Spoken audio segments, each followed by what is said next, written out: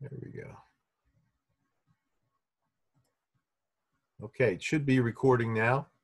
Alexandra, if you want to start. All right, good morning, everybody, to the gathering on Zoom. We're glad you were able to join us today. Interaction is invited in today's service. Please use the reaction icons or the chat feature to interact during the service since we are being recorded. You're still welcome to get refreshments. You just have to go into your own kitchen or wherever you keep your snacks to get them. So, Fall Festival is October 3rd. Session agreed to have a very limited uh, Fall Festival this year, but keep an eye out for more details coming in the Friday announcements. Confirmation is happening this year, open to any students in seventh or eighth grade. Informational meeting is at 4 o'clock on September 13th outside at the lower pre preschool entrance. And if you have a student who is of confirmation age, you will receive a letter in the mail this week with details, so keep an eye out for that. Parents, parent meetings are back on Zoom. Woohoo! It's the first Wednesday of the month only. So it starts this Wednesday at 8:30 p.m. It's open to any parent with children at home, and the Zoom link is in the Friday announcements. And last note here, core youth group meets tonight from 6 to 8 outdoors. So that is all the announcements I have for you. And let's come together and sing our first song, Cornerstone.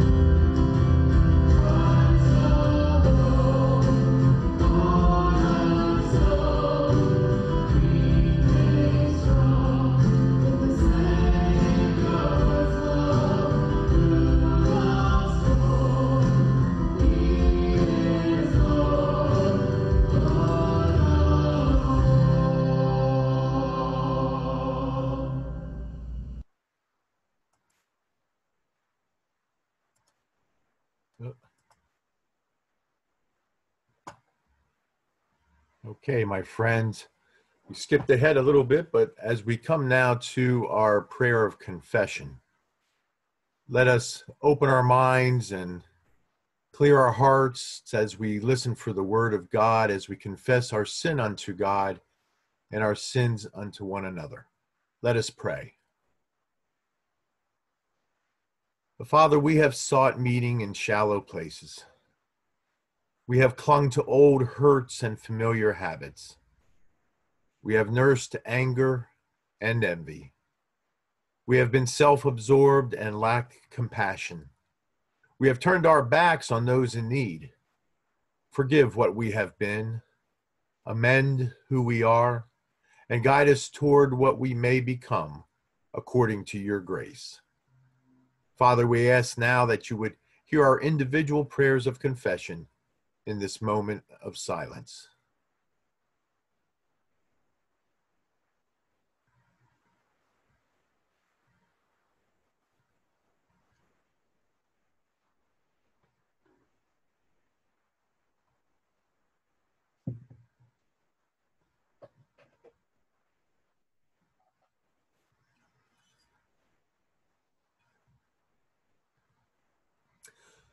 Amen. My friends, in the waters of our baptism, God claimed us as his own. In his son Jesus Christ, our sins have been washed away. Gone is the old life, for Christ has given us new life. Alleluia.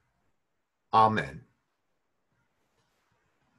My friends, we come now to our time of sharing the passing of the peace and fellowship. And has been has been our practice, uh, we will wave to each other during this time.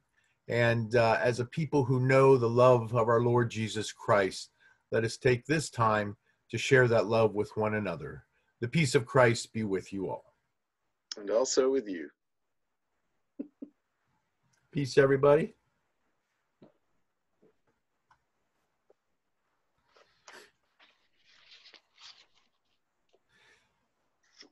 Now we come to uh, a time of uh, word with children, and uh, Pastor Don, I believe today, is going to share that message uh, with any of the children that may be present, and even some of the older children. Yeah, this one is actually for all God's children, and uh, particularly for uh, those who have a little trouble waking up in the morning, as I do. So, a question for you all. What, and I'd like you to use your chat field to type in your answers here, your response, but what do you all drink in the morning to get you going? And this is for the kids as well. So, uh, the folks, if you've got if you've got young ones there, um, Adam, if, if your family too, you, you want to get their responses in there in there as well. John, you too. Let's see what we got here. So we got water and orange juice. Okay, we've got, uh, let's see, oolong tea. I think I know who did that one, Emma. More water, green tea. Good for you, Emily Krebs. Chocolate milk, Brian. Very nice. Okay. Water and milk. Okay, fair enough. And then for the adults, coffee. Adam, amen to that. Uh, Chad, soda. okay, it's all right. It's all right. And then lots of coffee for the parents. Yeah. Oh, and we've got a tea drinker there, Susan. Well done. Okay. Jane drinks water. Okay. Coffee and water for George and Grace. We've got some pink lemonade and hot tea. Man, you people are all over the map here. So, I, for me, um, clearly it is coffee, and I, I, I, I love coffee. I am, and I imagine that for those of you who have a favorite uh, beverage in the morning to get you going, you're pretty particular about it. And um, Emma can tell you that I am exactly that way when it comes to coffee in the morning. In fact, coffee at any time, to be honest with you. So the perfect cup of coffee for me is four parts dark roast coffee and one part of either whole milk or 2% milk. The challenge with the milk is that it can't be so much that it overpowers the coffee and it and it can't cool it down because it really has to be for me hot. But a few years ago i discovered that in the summertime i actually enjoyed iced coffee. Do any of you ever drink iced coffee? You can just nod. Or have you had it? Jane is looking at me and shaking her head and thinking that that's just a no no but i'll tell you i when i was commuting into the city um, iced coffee on the train was delicious great. But that that too it had to be really cold. So for me the coffee has to be either really hot or really cold. And i imagine some of you who are enjoy tea and, and whatnot have some similar feelings about that. But the key here is that it can't be lukewarm. And if it's if it is lukewarm right and for the kids lukewarm means neither hot nor cold it's just no good right? It, and it could be so, so much better. It's such a waste, right? Well, that is Jesus' message to the church in Laodicea today in our scripture reading. And this is a congregation that, as Jane is going to tell us, is quite wealthy and they have a lot of material gifts and blessings. But when it comes to Christ, they are, as Christ says in this vision, they are lukewarm. They're neither hot nor cold. So they want to be disciples and follow Jesus, but because they're so comfortable and so wealthy, frankly, they feel like, well, we don't really need anything. So what that means is, since they don't think they need anything, for them, that includes Christ. So sometimes part of them, they would like to be disciples of Jesus, but they're not the other time they're not willing to risk everything the way jesus asks us to do. Well that of course is not what jesus wants. And what jesus wants for them is to do indeed risk everything for him to be his disciples. So the obvious point here is that that's what he wants us to do too right he wants us to be able to risk everything and I'm curious if some of the kids have some idea what that might look like, for example, at school. What might it be if Jesus tells us that we are supposed to risk everything? Go ahead and type that into the chat field if you have any ideas there. What might that look like? And you can you can just shout that out to your folks and your folks will type it in. But what would it mean, for example, if you see somebody being bullied, right? And or if you see people doing things that are wrong maybe cheating on a test or simply butting in line in front of other people. Curious to see what what responses you have for this. I'll give you a chance to type some of those in. I can see adam typing and nathan i don't know if you have any ideas. And john you're talking to the girls too i can see. Go ahead and type those in if you would Oh boy, Adam said, yeah, Tracy, Tracy says, speak up. Amen to that. You have to say something. And it's risky, right? It's a little risky to do that. And also try to talk the bully out of it. Oh, duh, that's a great one. That's a really good one, a very Christian response, right? Somebody who looks like the enemy, but we're supposed to love them too. That's a really, really good response. Thank you for that. So for the rest of us, I'll leave it up to you. What does that look like in your life? What does it look like to risk all for Jesus?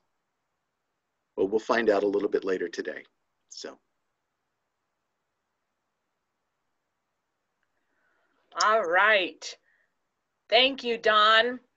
Our scripture reading today is from the book of Revelation, chapter 3, verses 14 through 22. Hear now the word of the Lord. And to the angel of the church in Laodicea, write the words of the Amen, the faithful and true witness, the origin of God's creation. I know your works. You are neither cold nor hot. I wish that you were either cold or hot. So, because you are lukewarm and neither cold nor hot, I am about to spit you out of my mouth. For you say, I am rich, I have prospered, and I need nothing, You do not realize that you are wretched, pitiable, poor, blind, and naked. Therefore, I counsel you to buy from me gold refined by fire, so that you may be rich, and white robes to clothe you, and to keep the shame of your nakedness from being seen, and salve to anoint your eyes, so that you may see. I reprove and discipline those whom I love. Be earnest, therefore, and repent. Listen, I am standing at the door knocking. If you hear my voice and open the door, I will come into you and eat with you, and you with me. To the one who conquers, I will give a place with me on my throne, just as I myself conquered and sat down with my Father on his throne. Let anyone who has an ear listen to what the Spirit is saying the churches. Friends, the word of the Lord. Thanks be to God. Let us pray. And now, O Lord, open our hearts and our minds that we might be open to your word preached this day and that it might change who we are, that we might live more fully into your calling upon our lives. Through Jesus Christ our Lord. Amen. All right, let me get the sermon up here.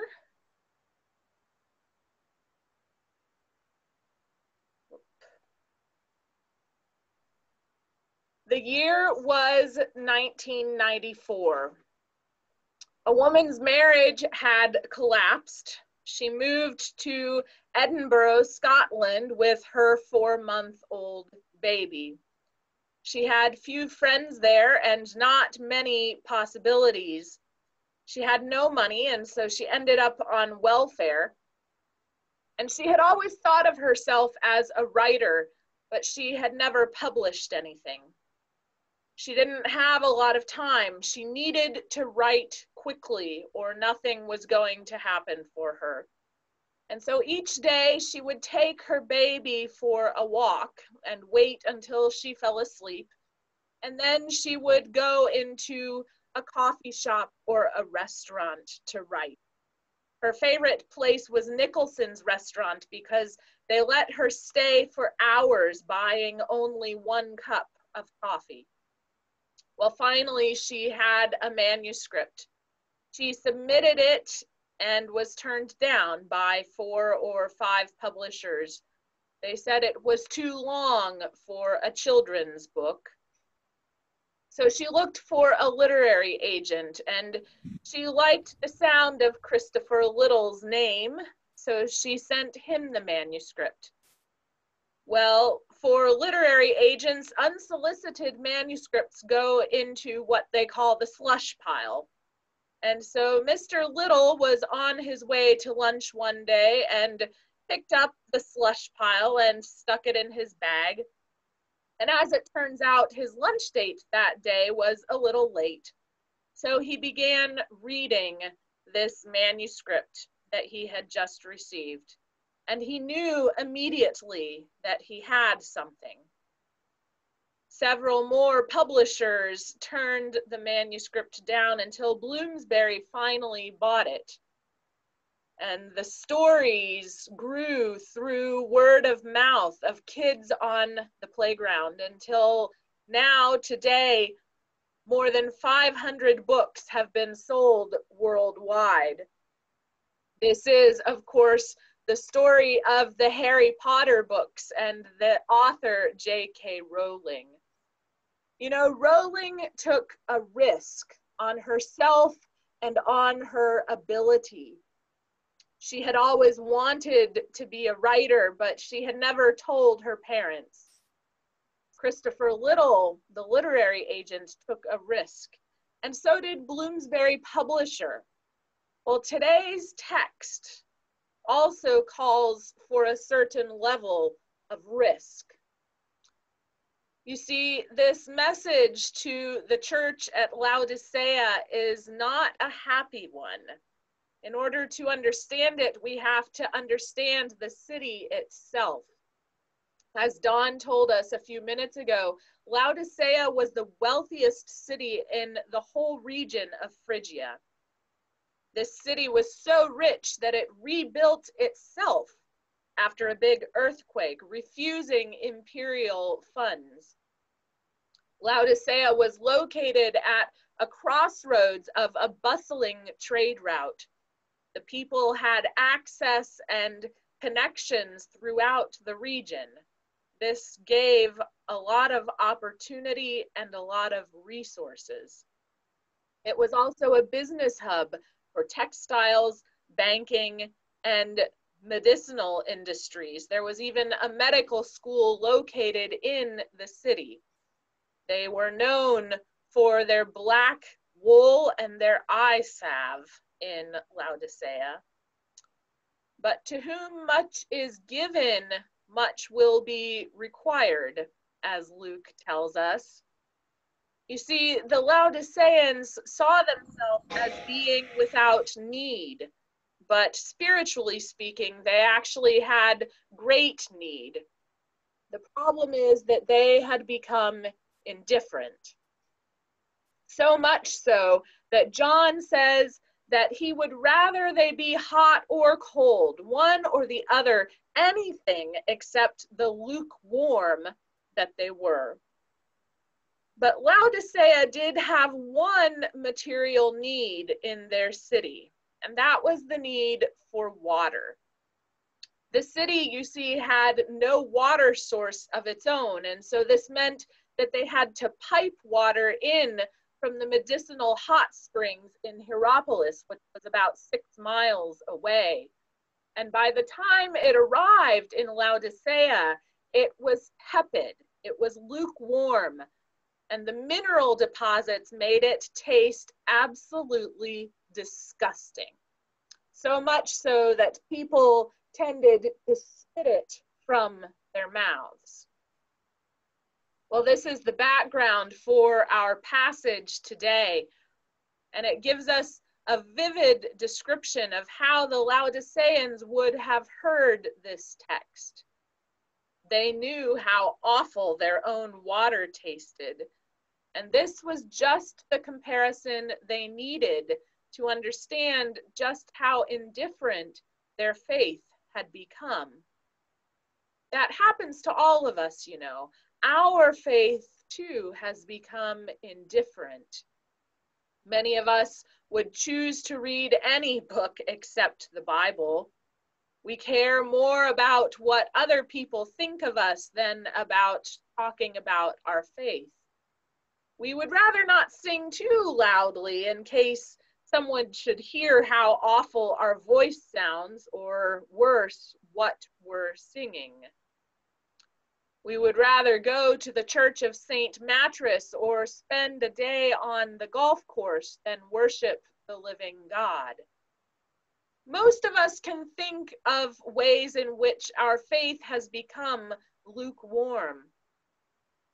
And like the Laodiceans, we don't often even realize that we are wretched, pitiable, poor, blind, and naked. But that's not where I want for us to dwell today. Where I want for us to dwell is in the knowledge that Christ is only harsh toward those whom he loves. This passage is meant not only to teach, but to witness for the lordship of Jesus Christ.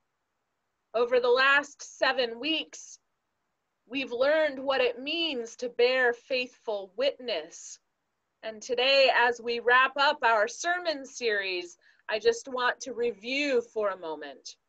We learned from Ephesus that faithful witness means repentance. We learned from Smyrna that faithful witness means building a culture of resurrection. We learned from Pergamum that faithful witness means putting God's desires before our own. We learned from Thyatira that faithful witness means purposeful outreach to those captivated by cultural idols. We learned from the church at Sardis that faithful witness means authenticity. We learned from the church at Philadelphia that faithful witness means that we just keep going. And today, from the church at Laodicea, we learn that faithful witness means that we declare ourselves to be clearly and unmistakably for Christ in all that we say and do. Even though we mess up or others sin against us, we declare that we are God's beloved children. Even in our lukewarmness, which we know to be the worst of the worst, even then, God loves us still. There is redemption. So the real question is not what are the ways that we need Jesus, because deep down we all know that we need Jesus. The question then becomes what are we going to do about it? What are we willing to do to respond to our own spiritual need? How will we respond to God's call to us to be disciples of Jesus Christ? Being a disciple isn't for the faint of heart, you know, it's work. It means putting ourselves out there for Christ's sake and being willing to live in a way that is different from the rest of the world. It's a huge risk.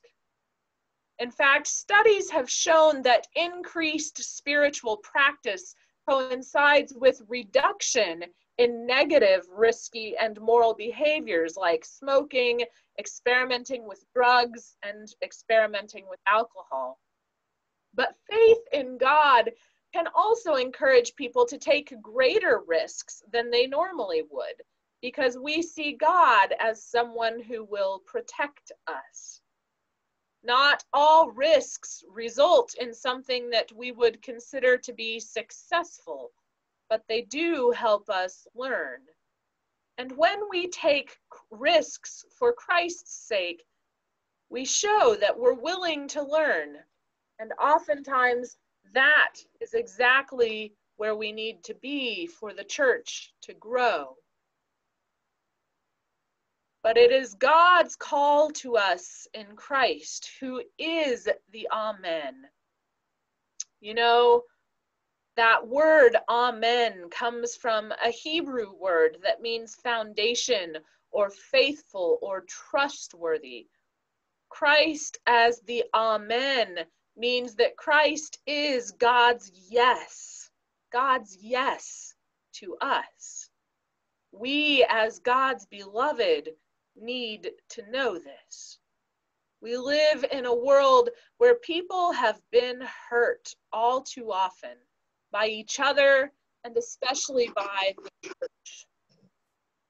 So, how will we convey God's yes to others?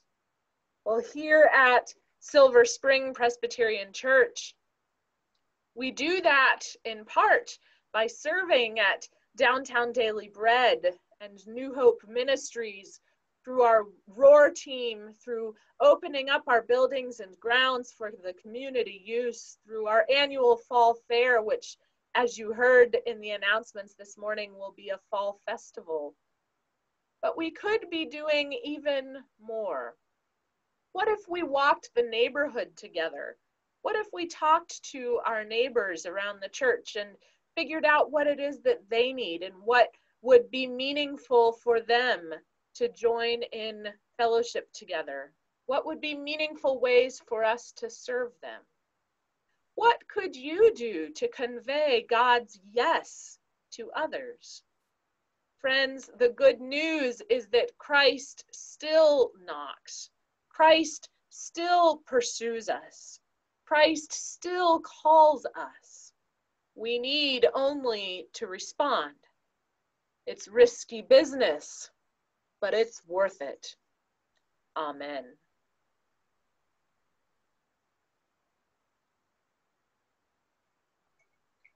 Thank you, Jane, for that beautiful message. Um, I know I can relate to today's sermon today very much. In the past, my faith has been lukewarm, and I know it'll become lukewarm again, but I take comfort in knowing that I remember what God has brought me through in life and what He will continue to bring me through and the doors He will continue to open for me.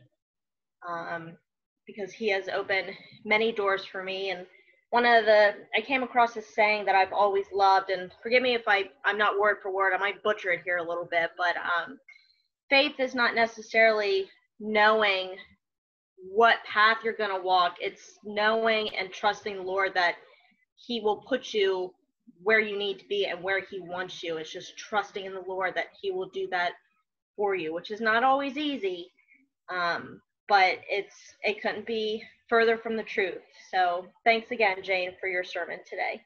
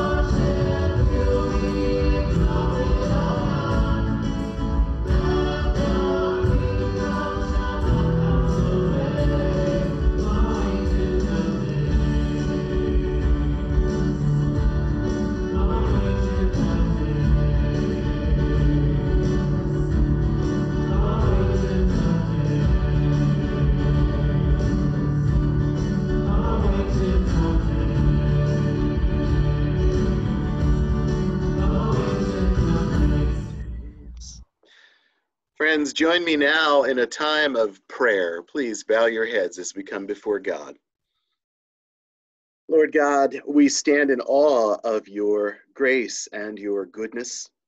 Even in this season of darkness, when we are stalked by the specters of disease, of economic depression, racism, and political polarization, when truth at even the highest levels of our government is disregarded in favor of political ambition, we praise you, knowing that we can always trust in your provision and your justice.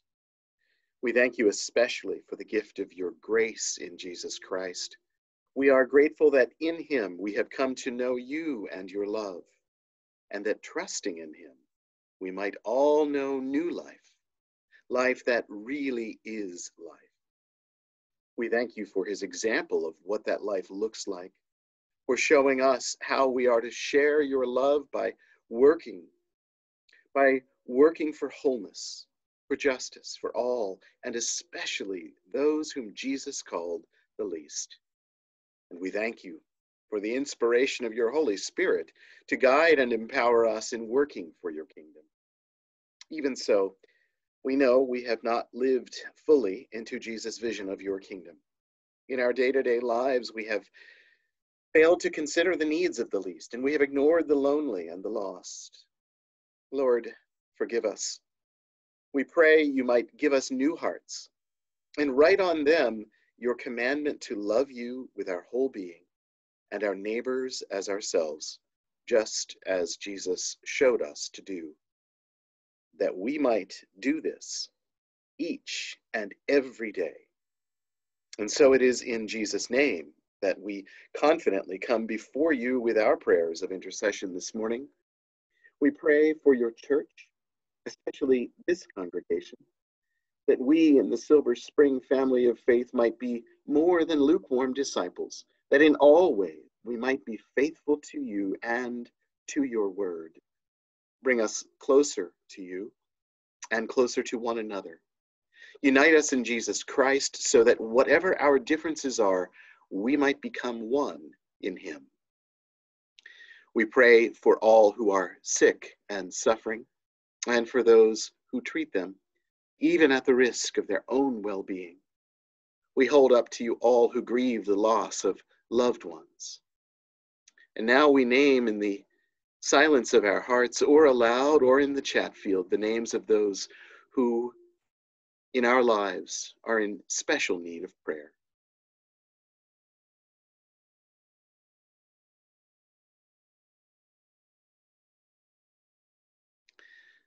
Lord God, comfort them and assure them of your constant love and protection. We hold up to you now all who are seeking work Lord, direct them quickly to the new places of employment that you have already picked out for them.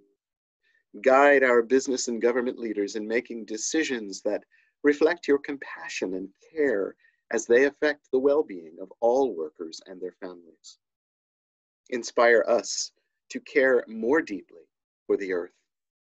Fill us with gratitude for this natural blessing that you created to sustain and nurture all your children.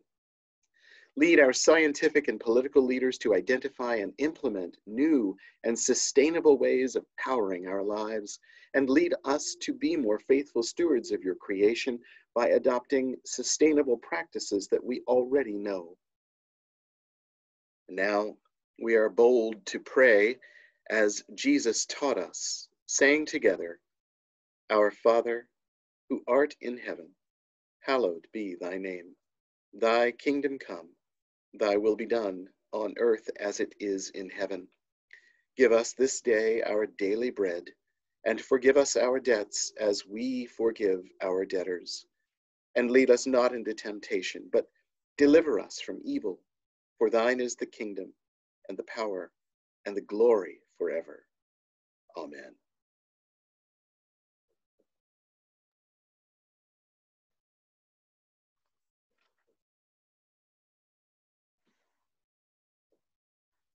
Friends, go now in God's love, knowing that sometimes we have to take risks for our faith, but we are God's beloved. And so take those risks that other people might know Jesus too. And as you go, go in the grace of our Lord Jesus Christ, the love of God and the fellowship and communion of the Holy Spirit. Hmm. Go now in peace. Amen.